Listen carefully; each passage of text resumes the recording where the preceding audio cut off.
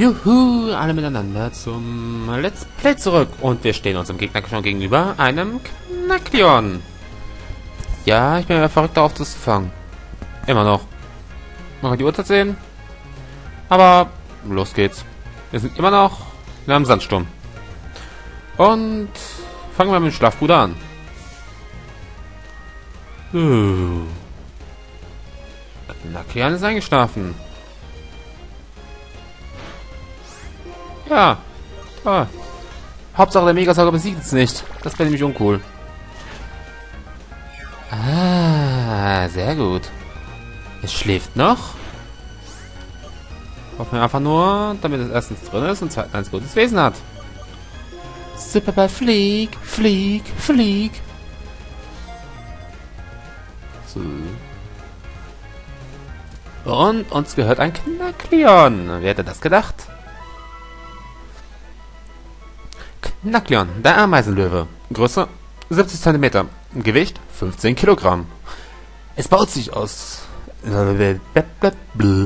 Es baut sich ein trichterförmiges Loch, aus dem es keine Träne gibt und es wartet, bis Beute hineinfällt. Ja, Beute, wie ein Sandkorn oder um, eine gelegentlich vorbeikommende Frucht. Oder die eine oder andere Ameise. Mhm, ja. Ja, ich möchte Knackleon einen Spitznamen geben. Ist, sie ist zwar kein Chocolate Empire-Mitglied, aber definitiv gerne angesehen. Entscheiden wir uns für Mackies Elite-Mitglied Ani. Willkommen im Team. Was hast du denn für ein Wesen? Wehe, du bist irgendwie speziell offensiv. Auch es als auch egal wäre bei Kühn. War plus, Angr äh, plus Verteidigung, minus Angriff. Zum Glück hat Knackler einen hohen Angriff. Okay, Ani, du wirst speziell gespielt, ob du willst oder nicht. Und du bist jetzt die Fähigkeit Scherenmacht. Oh. Und damit will ich jetzt so schnell wie möglich aus dem Wüstenresort raus.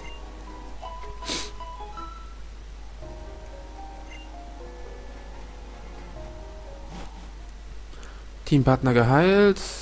Welche Stufe sind denn bei... Ach ja. Was ich auch direkt mal machen kann. Ja, ich habe unterwegs Schaufler gefunden. Auch eine Attacke, die ich gesucht habe. Ani versucht Felskopf zu erlernen. Äh, das hier ist viel zu schlecht. Ani lernt Felsgrab. Sonst irgendwas? Kannst du Käfertrotz lernen? Kannst du. Bringen wir es erstmal bei. Einfach nur, um etwas Abwechslung reinzubekommen in diesen makabren Move. Und dass sie dann Dampfwalze besitzt, brauche ich ihr nicht Schaufler zu geben. Giftschock. Ganz du sicher nicht. Raubrücker. Nö, kommt nichts dazu. Yay.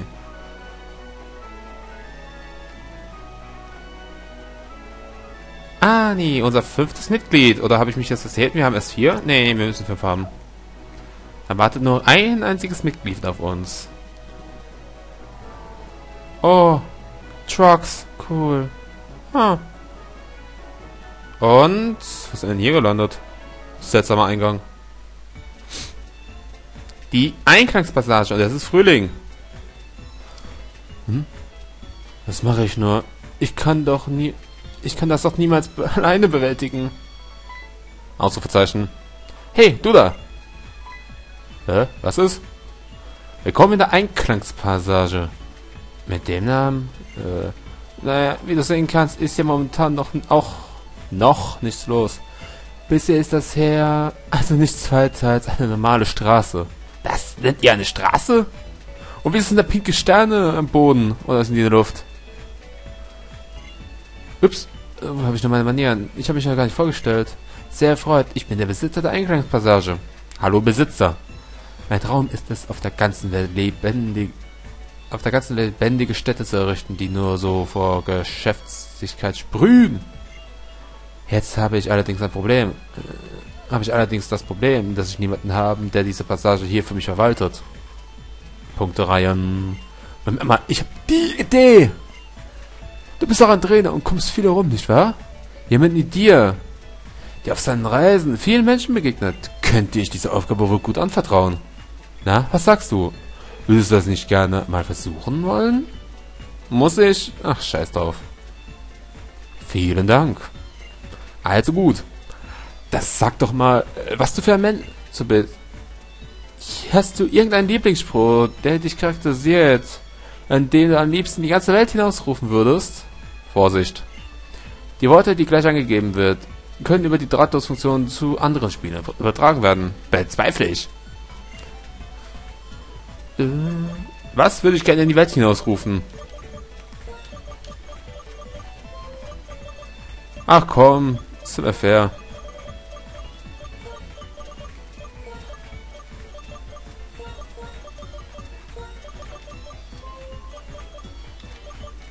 Creative. Nee, mehr? Ach, da oben ist es. Jocke! Verstehe. Toller Spruch. Was sagst du gerne? Wenn du eine Sache toll findest, beziehungsweise was ist der Ausdruck der Begeisterung? Ein ganz allgemeiner Spruch wäre gut, den jemand sofort versteht, auch wenn du ihm gerade zum ersten Mal begegnest. Warte mal, war das erste nicht die Begrüßung? Schnauze. Was sagst du, wenn du gerührt bist? Was auspasst?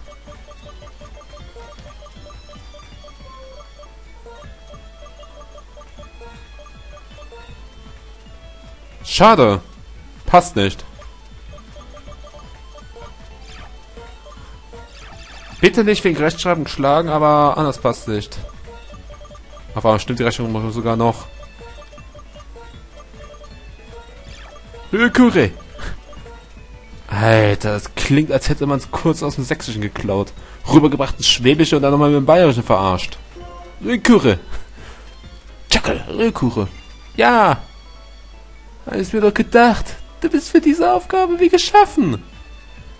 Du musst das unbedingt übernehmen. Entweder du oder keiner. Chef. Es war langsam Zeit für das nächste Termin, für den nächsten Termin. Ach ja, äh, den hatte ich fast vergessen. Meine lieben Assistenzen, ihr habt gehört, was Sache ist.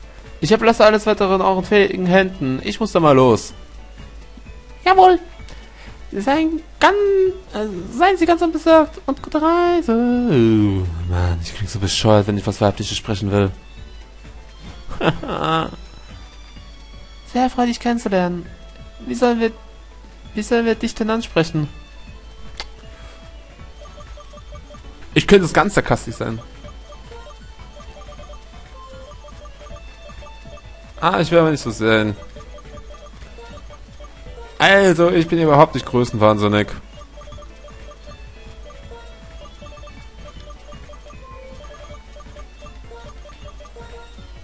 Nee, irgendwie klingt das scheiße. Und nein, das andere nehme ich nicht, die ist eh zu kurz.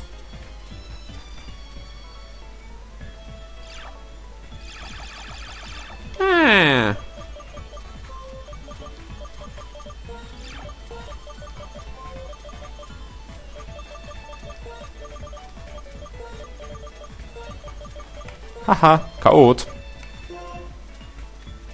Chaot! Bist du nun im vollen Umfang verantwortlich für diese Passage? Noch herrscht hier nur gerne Lehre. Noch hätte du gerne Lehre.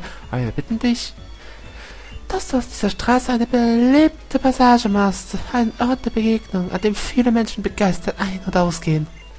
Ich werde dir gleich erklären, wie du diese Passage wachsen und gedeihen lassen kannst. Sprich mich einfach an, wenn du bereit bist. Dann kann ich gehen. Um Leute anzulocken, bietet es sich an, Einrichtungen zu öffnen, die irgendwie praktisch oder nützlich für die Besucher sind. Genau, rede von irgend, genau, ich rede von irgendwelchen Geschäften. Uh, dubiose Geschäfte. Du musst also Leute finden, die schon immer einmal davon geträumt haben, ihr eigenes Geschäft aufzumachen. Okay, soll ich also jetzt eine Klofrau besorgen?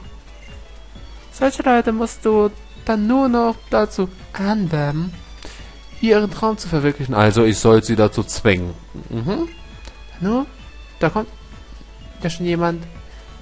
Du kannst ja gleich mal versuchen, diese Person anzuwerben. Haha, erwischt. Super. Ist das eine neue Einkaufsstraße? Gibt's doch gar keine Geschäfte. Vielleicht kann ich meinen Traum hier wahr lassen. Wer weiß. Anwerben. Dieser Einkaufs Einkaufsstraße Träume wahr werden, dann will ich viele verschiedene Pokémon schöner machen. Ein Salon. Janus. Danke. Super. Baba Janus Schönheitssalon hat geöffnet. Mhm. Herzlichen Glückwunsch. Da hast du wirklich ein feines Geschäft eröffnet. Aber ein Geschäft ohne Kunden ist ja noch eine recht sinnlose Angelegenheit. Nächstes musst du potenzielle Kunden zu dem Geschäft führen. Das ist... Äh, ich überspringe den Mist. Halt, kleine Dame. Du wirst jetzt überfallen. Äh, empfehlen. Jo, ich habe jetzt echt keinen Bock mehr. Hui, das sehe ich mir gleich mal an.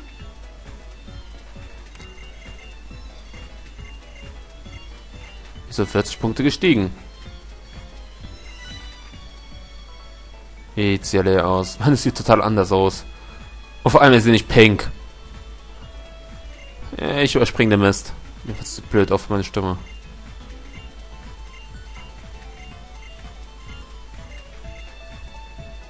Richtig. Verschwindet. Ich glaube, die werde ich dann gelegentlich mal antworten. Super, Chocke! Dickes Make-up.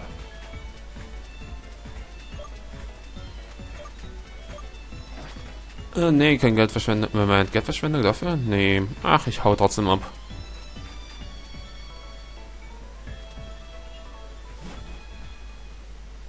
Oh, ich glaube, da lief gerade jemand. Rayano City. Oh, was sehen wir denn hier denn Schönes? Okay. Testen wir mal Ani aus. Sieht nämlich davon am Kampf aus. Du kennst das die Weichstation, oder? In der U-Bahn dort kann man nach Herzenslust Pokémon-Kämpfe austragen. Welche meine Kräfte messen wollten, waren dort auch tatsächlich auf einmal die Metromeister. Ist das nicht Wahnsinn? Das sind die stärksten Trainer in der gesamten Weichenstation. Das Beste ist, sie sind immer für einen Ka Kampf 2 gegen 2 bereit. So eine Gelegenheit bietet sich einem nicht oft. Trittst du mit mir zusammen gegen sie an? Bitte, bitte. Danke. Ich heiße übrigens Rosie. Ah, das wäre ein schlagkräftiges Duo abgeben, das selbst der Metromeister bezwingen kann. Wiesen Sie mir auf in den Kampf gegen die Metromeister.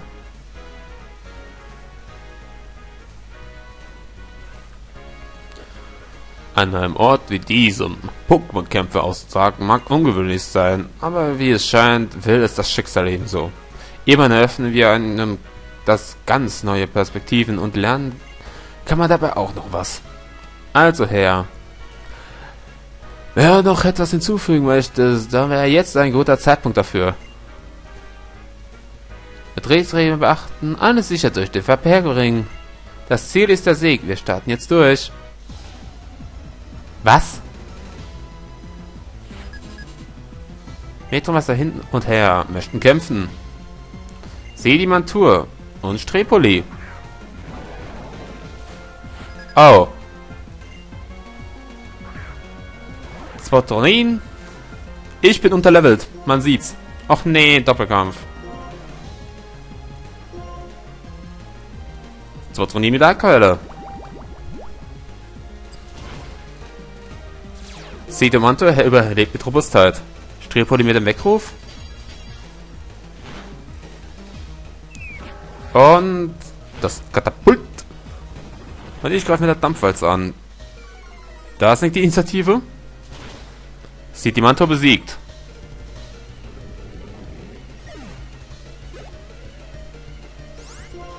Ich glaube, das sollte anders aussehen. Aber nochmal die Dampfwalze. So, Trommelin mit dem Energiefokus. Strepoli nochmal mit dem Weckruf.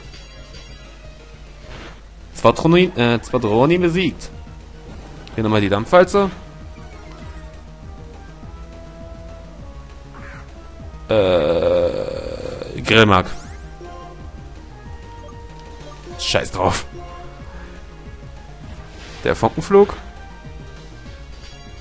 Weckruf gegen Ani.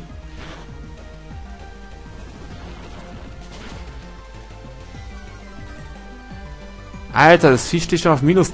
Jetzt steht es auf minus 3. Jetzt muss ich schneller sein. Naja, egal. So geht's auch. Ani Level 22. Habe ich da gerade richtig gelesen? Null Verteil äh, null Initiative? Oder waren es acht? Ich bin hier. Hin und ich. Wir haben verloren. Warum? Weil unsere Gegner einfach bombastisch gut waren. Das, ach, Mann. Das ist zu schnell.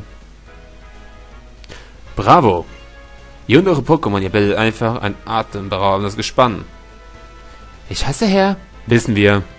Ich habe zwar gegen dein Team verloren. Mich aber dennoch prächtig amüsiert. Kommt ruhig mal wieder.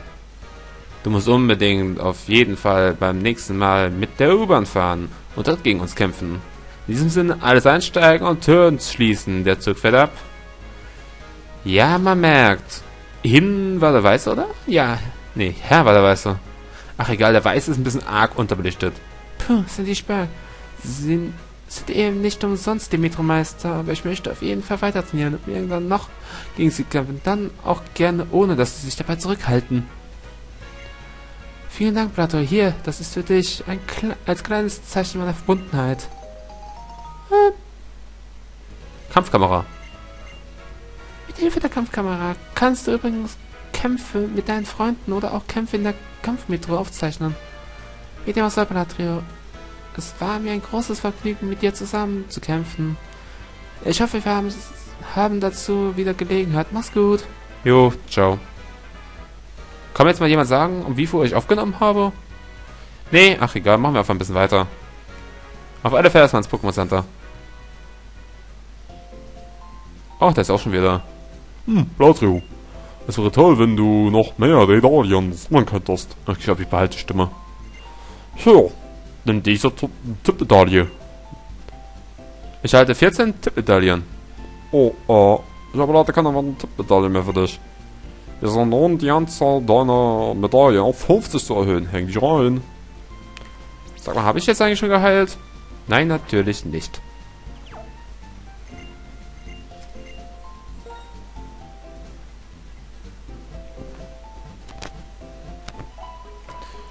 Heil schneller! Brav.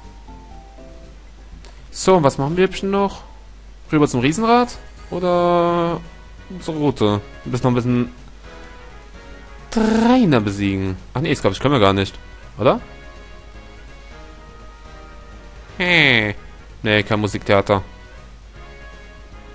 Geh mir doch hier nochmal kurz rein. Damit ich mal sehen kann, was der richtige Level ist. Hier. Worten.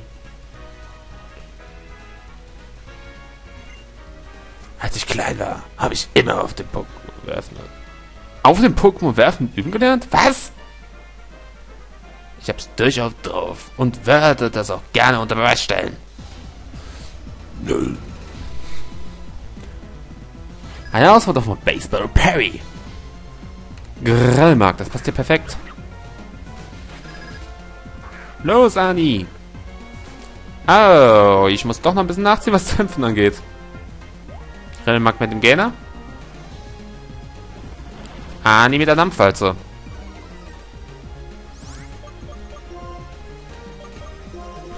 Und ich bin mal so Fall gemacht, einen kleinen Rückzug. Los, Rivers. Ernsthaft jetzt? Ach, Mann. Toll. Hm, Feuerzahn. Stirb. Blödes Äffchen.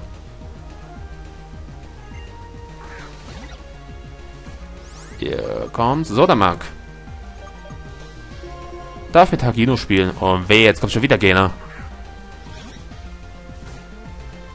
Nassmacher. Oh, wie süß. Mach's kaputt. Bis. Mega Sauger.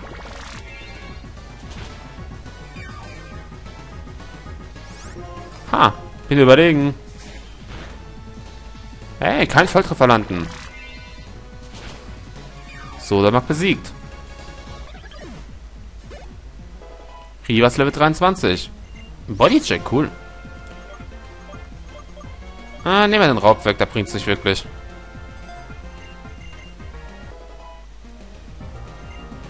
Und hier kommt Vegeta.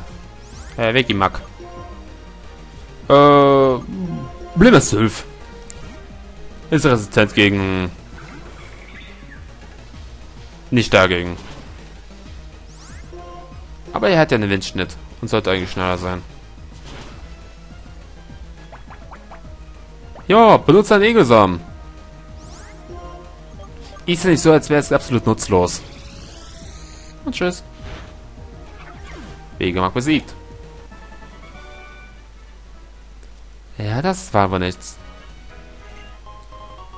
Und wir halten einen Trank.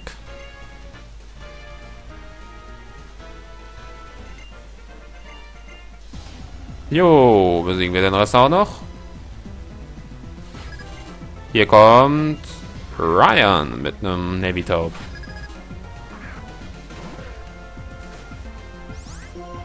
Wieso ist der Level von den Kerlchen hier so? Fick dich. Ich scannen. Windschnitt. Felsgrab. Oh. So, jetzt will ich mal gucken, wie viel Initiative die kleine Ani hat. Ich weiß, es kämpft bereits. Oh. 10. Mädel, du bist langsam.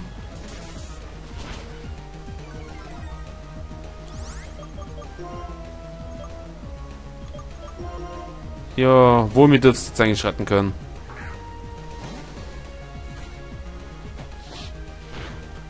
Aua. Wumi mit Aquavelle. Und Nevitov wurde besiegt. Zuerst gesteinigt, danach ertränkt.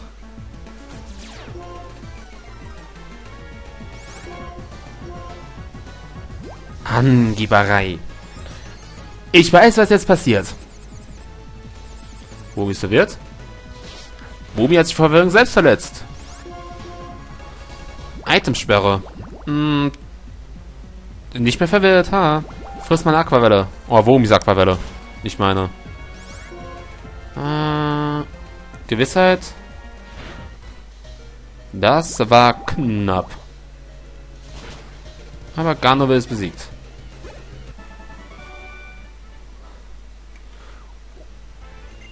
Und noch einen Trank erhalten. Wieso Tränke? Ich brauche keine Tränke. Gib mir was Gescheites. Obwohl, jetzt ist...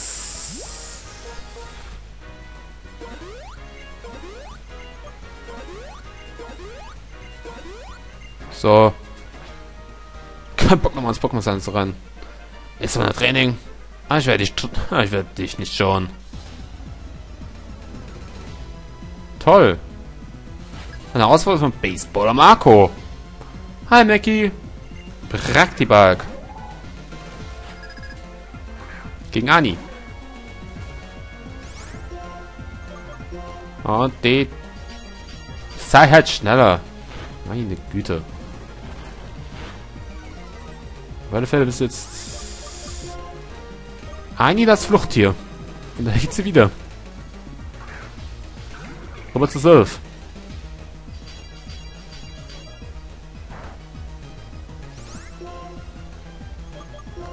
Yay, und tschüss.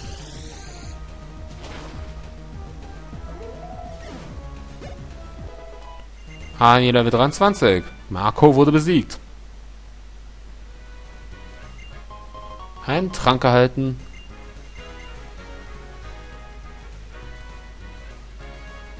Jo, äh...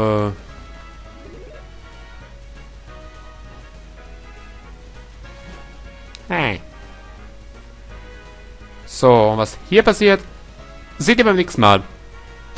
Tschüss.